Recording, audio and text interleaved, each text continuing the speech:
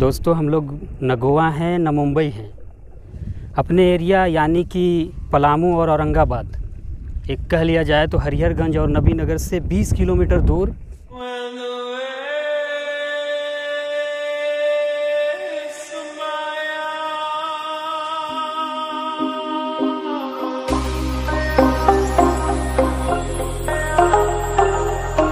और मेरे दिल तक कोई आता नहीं क्यों? चलो चेहरा बदल कर देखता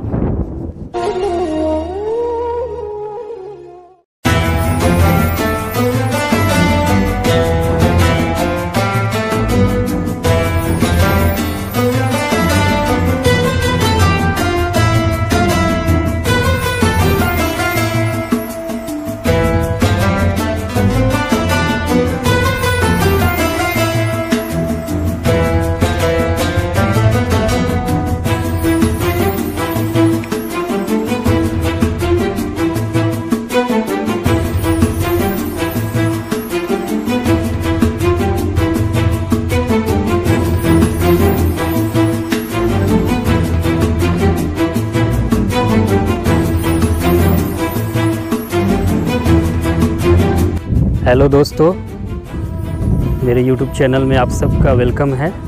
अब हमारे एरिया में सब कुछ है, मैं अपने एरिया के बारे में बात करूँ तो पलामू, औरंगाबाद, गया, जिसमें डेहरी, नबीनगर, हरिहरगंज के आसपास के क्षेत्र आते हैं तो अपने एरिया के हम बीच पे आ जाए हैं।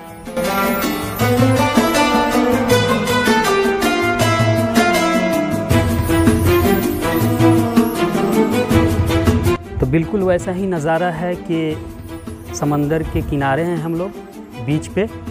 तो अपने एरिया के बीच पे हम लोग हैं आज सोन नदी के किनारे। आप लोग जानते होंगे सोन नदी बहुत चौड़ी नदी है, बहुत बड़ी नदी है। चौड़ाई गंगा से भी ज़्यादा है। तो ये वही नदी है।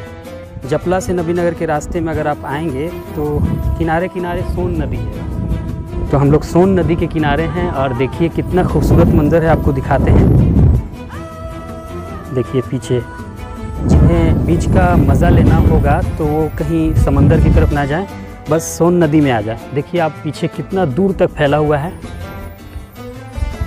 तो देखिए, हम लोग कोशिश करते हैं थोड़ा बीच में जाने की।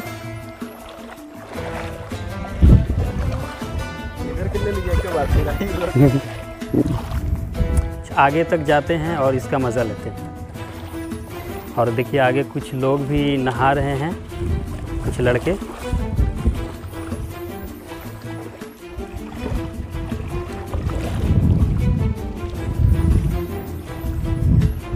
देखिए, बिल्कुल गहराई नहीं है इसमें, नीचे आपको ज़मीन दिख रही होगी। सोन नदी जो है, मध्य प्रदेश के अमरकंटक से निकलती है। पॉइंट ऑफ़ ओरिजिन जो है, वो मध्य प्रदेश है, अमरकंटक। अमरकंटक पहाड़ी से निकलती है और गंगा नदी में जाकर पटना के पास मिल जाती है। बहुत खूबसूरत नज़ारा है, देखिए। कुछ लड़के नहा भी रहे हैं नहा कर आ रहे हैं उधर से आगे से। बीच का आनंद लेना हो, मज़ा लेना हो तो आप सोन नदी के किनारे आ जाएँ। बिल्कुल वही फीलिंग वही व्यू और वही मज़ा आने वाला है यहाँ। तो हम लोग कुछ आगे जाते हैं। वहाँ पे कुछ टापू जैसा है, चारों तरफ़ पानी है। और बीच में थोड़ी सी सूखी जगह है। तो वहाँ से आपको दिखाते हैं चलिए। और शायद पहली बार हमारे सनी भाई आ रहे हैं नदी में। पहली बार आ रहे हैं?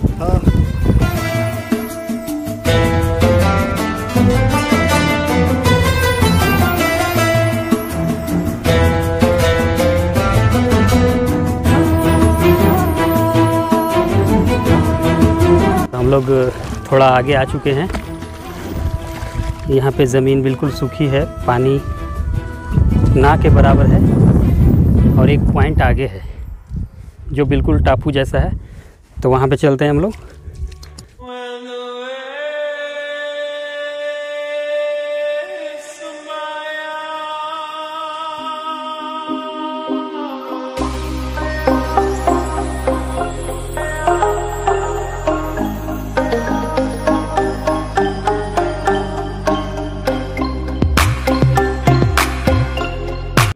पे आ गए हैं। जहाँ पे बीच में सूखी जगह है। चारों तरफ़ पानी है। चाहे इधर देखें या जिस साइड भी आप देखें, पानी है।